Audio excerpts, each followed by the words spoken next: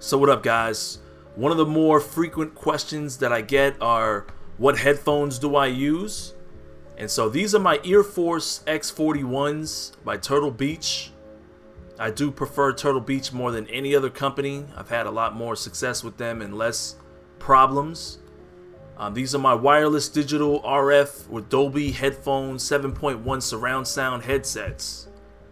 And I initially got these because I've got a little one running around the house and I didn't want so many wires all over the place and so I wanted to go wireless.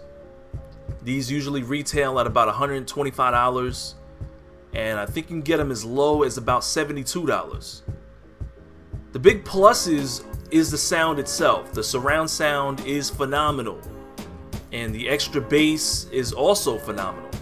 They really spared no expense in the sound department. The huge minuses that I have with this headset is that wireless I have a lot of wireless devices in my house and for some reason they cause interference with these headsets. I'm not sure why, but there are a lot of loud cracks and spikes and they are loud as hell and they really are annoying to my ears.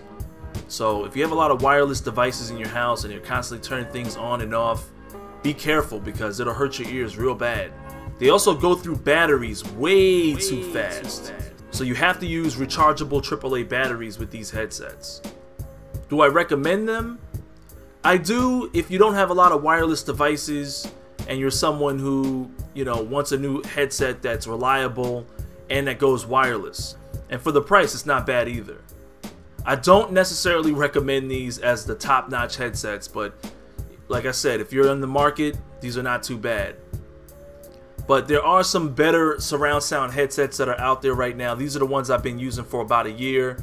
And I don't necessarily recommend them as much as I would before, especially in this day and age where sound isn't as important in shooters as they used to be. So it's your boy Shake. Hope this helped. I'll holla at you dudes later. later.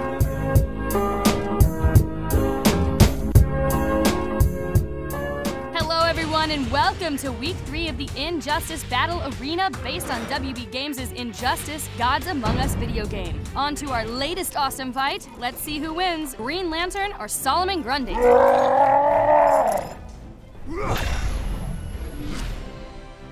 Fully charged.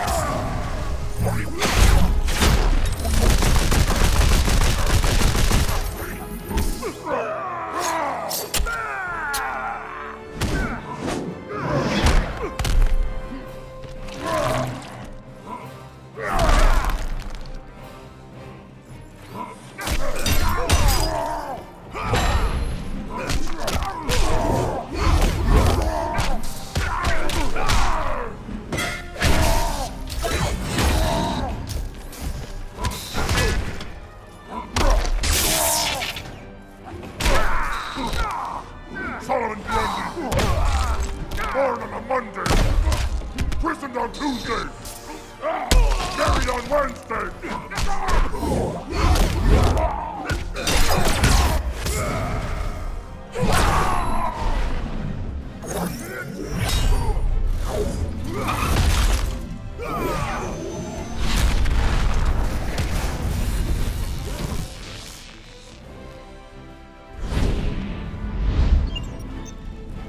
Once a Green Lantern, always a Green Lantern.